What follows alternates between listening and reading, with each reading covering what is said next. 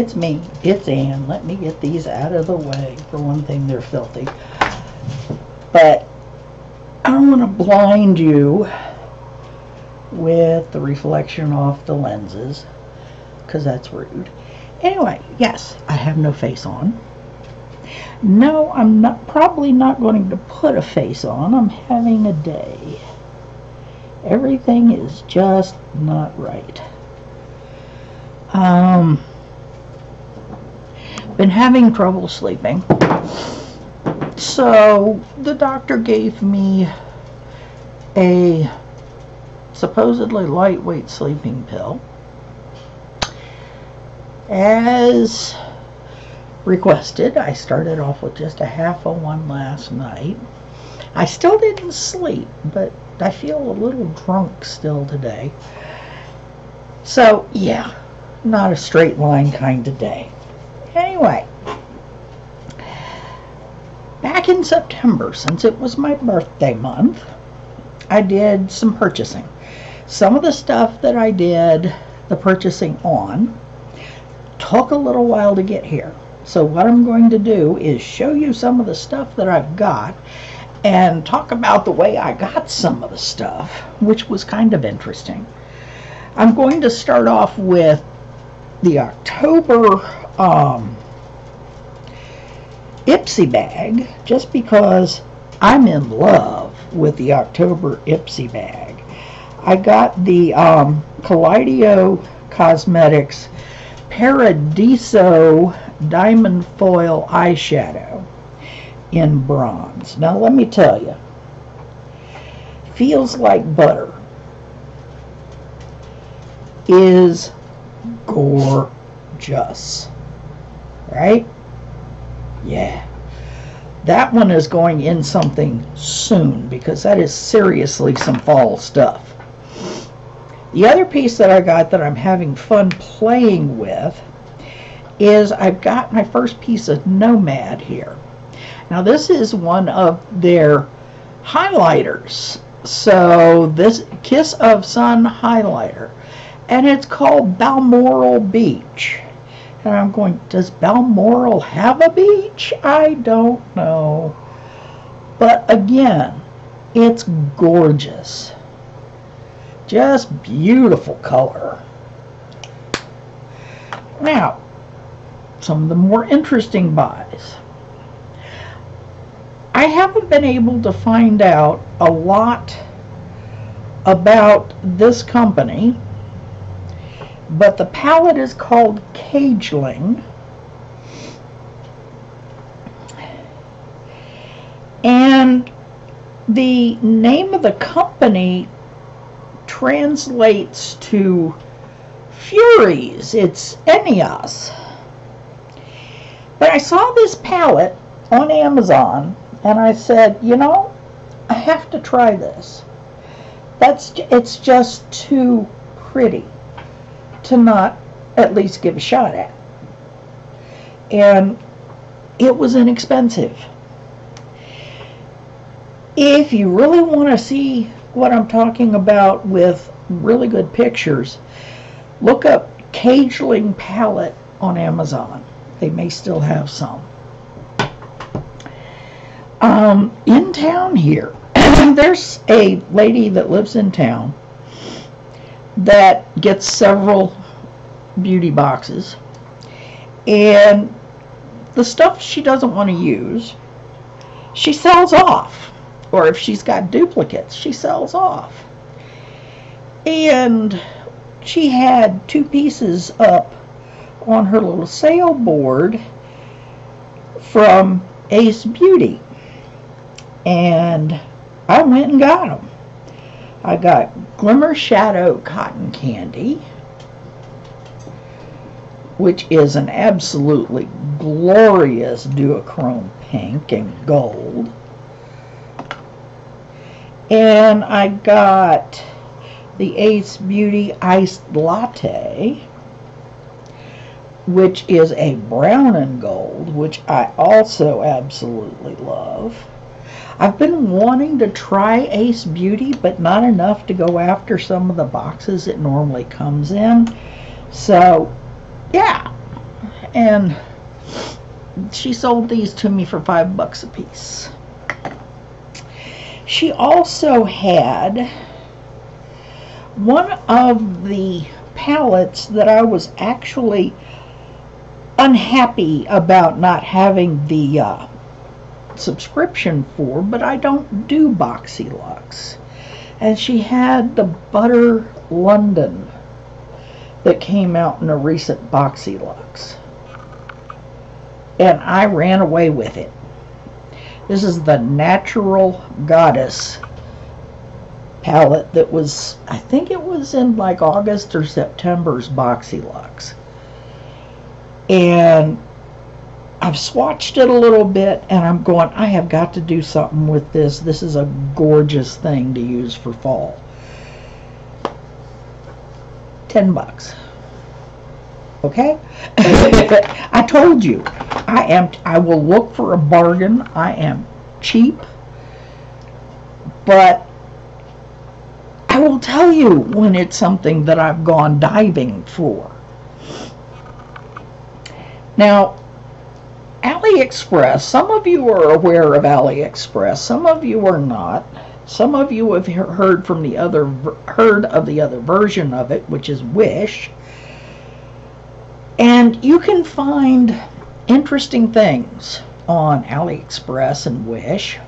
I prefer AliExpress because you can use the Ebates on AliExpress. I know they changed their name to Rakuten or something like that not too long ago. But that's just the name of the main company. It's still doing the Ebates thing. You get a certain amount off if they're participating. And you get it back as cash every so often. Now, on AliExpress, I was just scanning through looking at eyeshadow palettes. And I saw one and I'm going, that looks kind of familiar. But there was no identifiers. They had white palettes laying open that are, you know, just 10 pan palettes. Pretty basic there was along the edge, if you're really familiar with some of the palettes, you might have gone, that's a ba ba ba ba ba. But it's like just this little strip along the edge where the, the cover paper is folded under on the top. They didn't give any names, no designators, nothing. And I had someone else that I know collects a lot of higher end stuff and stuff I can't normally afford. Um, and, and I know she's got this set, and I said, Could you look at this? This looks like it might be a dupe. And she looked at it and said, That might be from the same factory. I'm going, All right. At the price point, it was still, it was worth a look at. So the package only came in just a few days ago, and I ordered this back in September. So, yeah, it's kind of like when I ordered the the Delancey set with sets with all of the colors that look kind of like they took on ColourPop or something. Anyway, but I saw this one and I'm going, it looks familiar maybe I can use it as a dupe for when we're doing some of our our um, collaborations where we're going you don't have to have name brand da da da da da. Anyway the package came in a couple of days ago and I almost fell out of my chair. Because and I started doing more research after getting this in and I'm going Huh.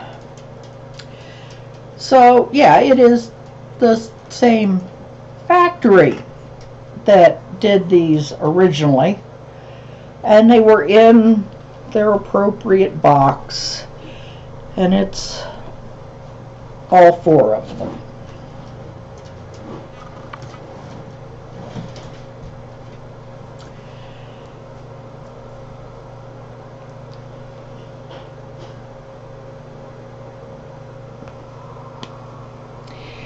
Now, not being a foolish person and not always trusting stuff that comes in this way, I have put every one of these colors on spots on my arms, that kind of thing.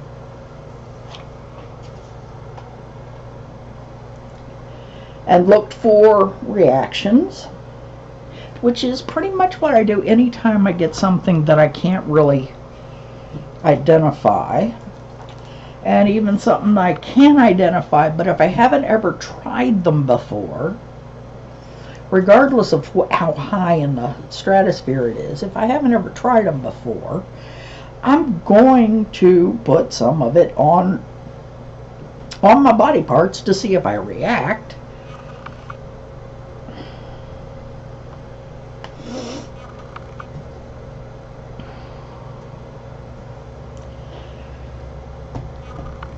Now, it yeah, it's the the exact same um, factory in China that did the original runs. These do not have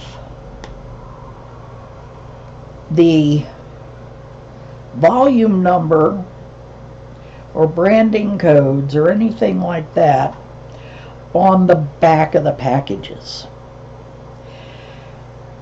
They did have some of the information on the exterior box. No, I didn't keep it because I didn't think about it. But I've had no reaction to the stuff, and I've had some of the same problems that people complained about with using some of the vault collection. You know, stuff being patchy or maybe kind of crumbly or no real payoff while I was playing with them, but they're not bad. So now, if somebody wants to do a collab with the Vault Collection, I can hold this one up and go, me. Um, I'm still not necessarily going to claim that it's the official one just because I don't have all of the information on it. They didn't put all of the information with it. But that, yeah, if you want to see the Delancey palettes that I got earlier in that that I used for a vid in September and and then a collaboration the very beginning of October. Um, those are already up and out. The rest of these will be in upcoming videos. And hopefully by then I will have had enough sleep that I don't look like a drunk rabbit. And yes, I have trimmed my hair. I needed to. It was getting too limp and shaggy. And the far ends were starting to get really crispy from the colors and the, all that stuff. So, yeah, I have trimmed my hair back so I can go back to doing the pin curls and then doing, you know, get the, my little pick comb and do the pick and flick. The purple is still hanging in. It really is much better than I was originally told about Splat. I was told Splat was really an unfortunate product, and I have found that not so much.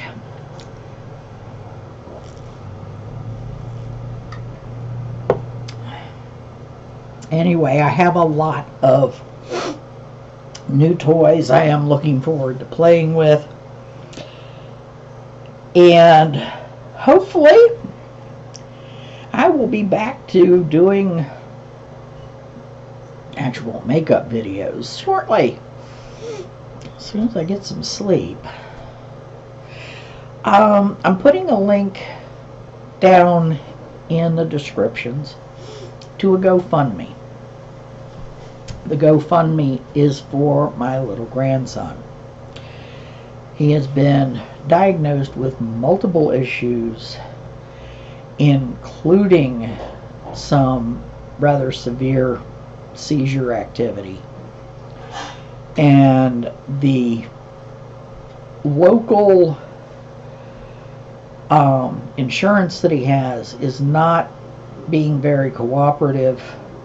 He's got new seizure medications that are over $250 a month that just started that they're arguing about covering. He has some developmental delays that require some adaptive assistance and the insurance is not willing to cover a lot of the adaptive equipment we need which includes because of his seizures a safety bed if you have ever been in the pediatric ward in a hospital where they have the beds with the high sides with lots of material to keep you from rolling out or just crawling out or whatever. That is a safety bed. His neurologist wants him in a safety bed so that he doesn't easily roll out during a seizure. And those are not cheap my daughter-in-law has started this fundraiser so that we can get this material for the kid. If you are able to donate, bless you. If you're not, if you could share, if, if it feels like the right thing for you to do, bless you. Otherwise, behave yourselves. Remember, I do not have bail money. I cannot rescue you. Have a good fall. And I will see you next time. Bye.